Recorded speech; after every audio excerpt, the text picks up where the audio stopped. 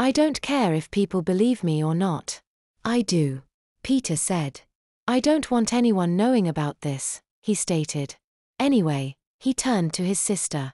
Haven't I got a dress or something? I feel naked like this. Not yet. Audrey quickly replied. We wouldn't have to personally hand out the photographs, you know. Melanie said as she flicked back and forth through the numerous pictures on her phone, taken over a four year period and hidden in a password protected area. She also has backup copies hidden in cloud storage, and Audrey also has her own collection. Lots of trannies have blogs where they post pictures of themselves wearing all sorts of things. I could make one for you too, she suggested. And it needn't be my blog, it could just as easily be yours.